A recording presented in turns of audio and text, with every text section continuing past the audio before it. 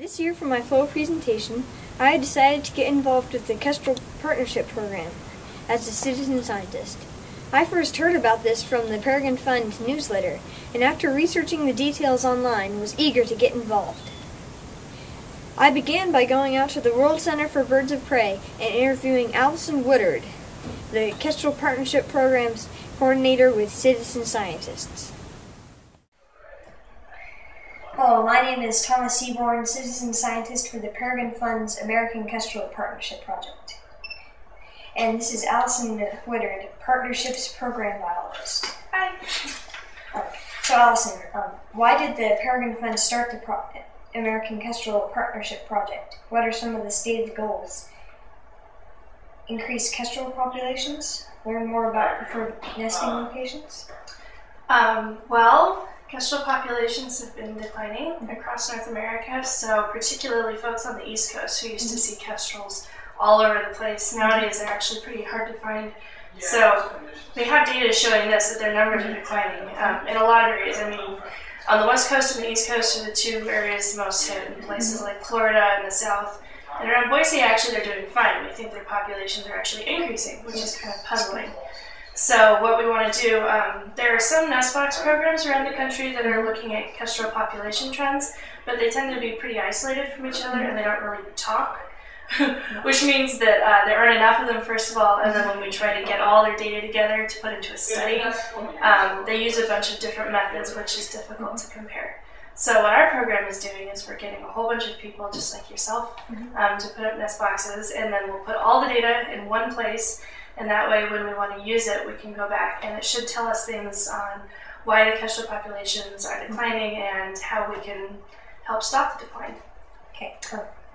Since you can communicate with the citizen scientists, what can regular students like me and my classmates do to get involved and help? Right. Well, I mean, you're off to a great start. The best thing you can do is put up a nest box or multiple nest mm-hmm. boxes and then monitor them, which is pretty fun because you get to peek in and look at the chicks and the eggs and stuff. And um, I'm sure that you've already read up on all the material, but really what it takes is um, just building or purchasing your box and finding a good place to put it, and then going back um, about once a week during the spring when they're in the nest box, and you just kind of count the eggs and the nestlings, and then input everything into our website, which we'll have up soon. Okay, um, the American kestrel is classified as a bird of prey since it demonstrates the following characteristics: um, a curved beak for ripping prey, um, sharp talons for capturing and/or killing its prey, and keen eyesight to locate its prey. Better shot.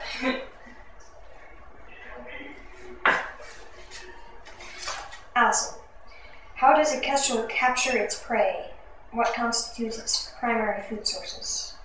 So kestrels are what's called generalists, which means they eat a whole bunch of different types of foods. So they love insects, first of all, which means you'll see them in lots of fields. Um, they love fields. And mice, they love mice and voles, any small rodents that they can carry. Um, and then they'll also occasionally take things like little snakes or lizards or even frogs. It's really whatever they can catch. And what they do is they'll sit on a perch, which is why you see them lots of times on power lines or sitting on fence posts. And they look, and then when they see something, they swoop down and grab it. Um, and one of the most distinctive things about kestrels that I think is pretty awesome is most raptors can't hover in place. It's a really difficult flight maneuver to pull off. But if there's a light breeze, kestrels can just face into the wind and they'll just hover in place um, over their prey until they see something go by and then they nab it.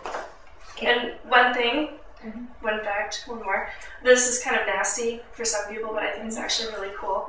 Um, kestrels see into um, the light spectrum, a portion of the light spectrum that we can't. So if you think of a rainbow, you know there's purple. They can see beyond purple into what's called the ultraviolet range.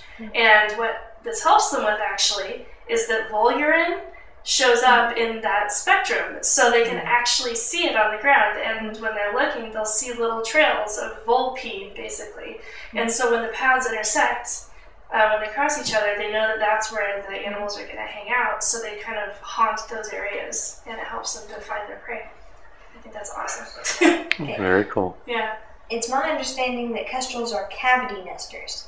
Um, could you please, ex- please explain what that means? Do they use existing cavities or do they create their own?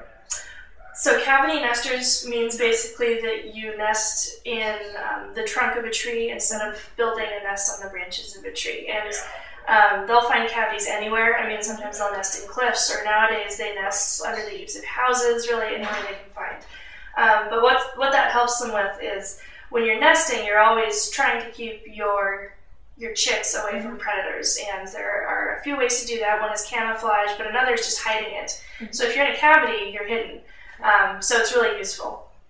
And uh, normally in the wild, like I said, they use usually tree trunks that have been hollowed out by woodpeckers and such. Um, but if you put up nest boxes, they actually prefer the nest boxes to natural tree cavities. So um, that's why we're encouraging people to put up the boxes. What is a kestrel's typical clutch size? Does it vary? If so, how?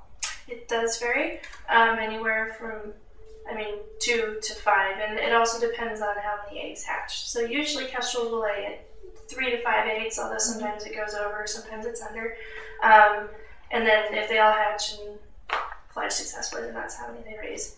The box that we had up here on the hill last year had five chicks, so that's pretty standard. Um, how long does it typically take for the nestlings to fledge? Uh, kestrels will lay their eggs at the beginning of April. They typically hatch in Boise. This changes around the country, but in Boise they usually hatch around the beginning of May. And then almost exactly a month later, so about 30, 31 days, the fledglings usually leave the nest. How long does it take for the juvenile birds to mature into adults? Um, well, it depends on your definition of adult. So as soon as they leave the nest, they'll learn how to hunt, and they'll usually stay with their parents for a few weeks, kind of learning the ropes. Um, and their parents will feed them. It's kind of like someone leaving for college, but your parents still help you out with the rent and stuff like that. Um, and then once they leave for migration, though, at the end of the summer, they're totally independent. But kestrels won't start breeding um, until they get their what's called adult plumage. So they'll lose their baby feathers basically and grow in adult feathers um, a year from when when they fledged. And at that point, they're mature and will start breeding. Okay. Um, are American kestrels a migratory bird? If so, what is their typical migration path and distance? Something cool about kestrels is some of them are migratory and some of them aren't. So um, even in Boise, you'll see more males here during the winter time, which I'm not exactly sure why. Some people speculate it's because they're sticking around to protect their breeding territory, but the females typically go south. And then areas like Southern California, all the kestrels usually stay there. Um, but then in Canada, most all of them migrate south. So it really depends on where you are and uh, what your food base is during the winter. If there's no rodents around, then, then the kestrels are going to leave. Okay. Um, it is my understanding that the American kestrel are, and merlins are some of the smallest birds of prey and are similar in size. What are some of the features that one can use to help distinguish them in the wild? That's a good question. So uh, once you learn them, they're actually really distinctive. Merlins are a little bigger than kestrels, Mhm. but it's not the size that I look for so much as the shape. They're a lot stockier. Um, so, I mean, their chest muscles are a lot more developed. They're kind of rounder. You see how the kestrel is kind of elongated, and then also merlins have a much shorter tail than kestrels. Mhm. So, uh, if you see a, a falcon about this size, look for that tail. If it's real long and skinny, and they're doing that bobbing motion that you see him do, which is how he got his name, by the way, um, then it's a kestrel. And if they're kind of like round and real muscly looking, then that's a merlin. And that's because of their, their hunting styles. Like I said, kestrels just kind of swoop down and grab rodents. They don't have to go super fast, but merlins, which are catching birds often, um, they have to have real stocky chest muscles to fly really fast to catch the birds. Okay. um, Well, that's all the questions I have for you today. I sure appreciate your time and for helping me to learn more about the American Kestrel and the American Kestrel Partnership Project. You're welcome. Thanks for coming. Armed with my newfound knowledge about ideal nest box locations, we searched the area around our backyards in both Sun Valley and Boise. Here are some of the potential nest box locations in Ketchum that we decided against. Ultimately, these locations pose challenges either due to issues of access because of the terrain or requiring permission. Okay, um, this is another one of our locations, and it is meeting all the requirements except it is hard to check on and it's on Forest Service land. So we would have to get a permit to put the nest box there. Also, we would have to cut down some of the limbs to put a nest box up. And during breeding season, you have to check on it once every week. And having that slope, it would be hard to do that. We chose this location because it is in our backyard and easy to access.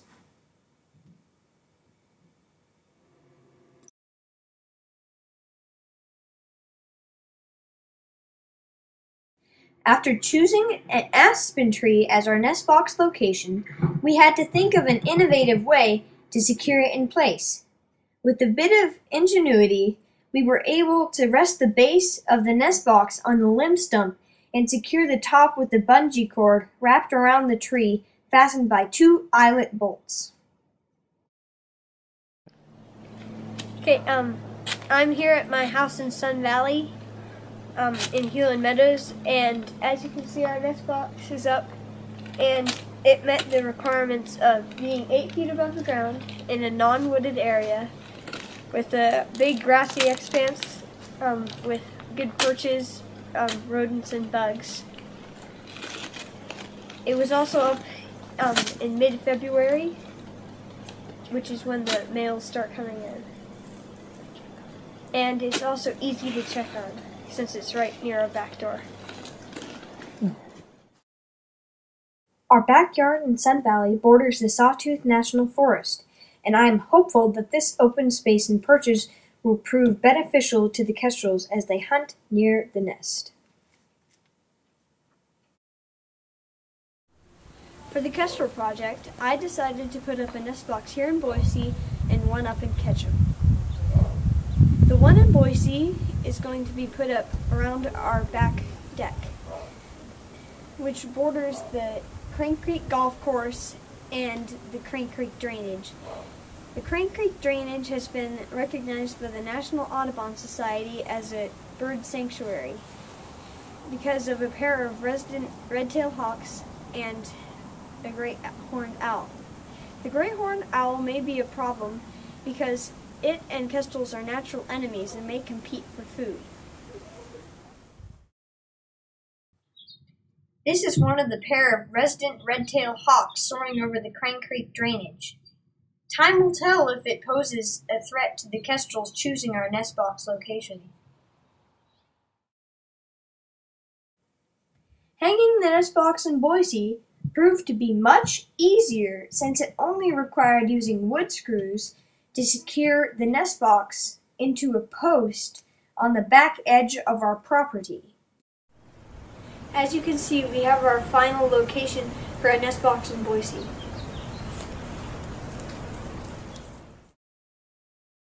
In addition to the pair of resident red-tailed hawks and the great horned owl, the Crane Creek drainage attracts songbirds and woodpeckers to come and nest from all over. After putting up the nest box in Boise, we also discovered some owl pellets on the ground near the nest box location. So at this point in the project, I have researched nest box locations and with some help from my parents got them into place. Next, I will keep a careful watch for any nest box activity. If a nesting pair of kestrels chooses one of the boxes, I will observe and write down the data on my observation sheet of any successful breeding activity.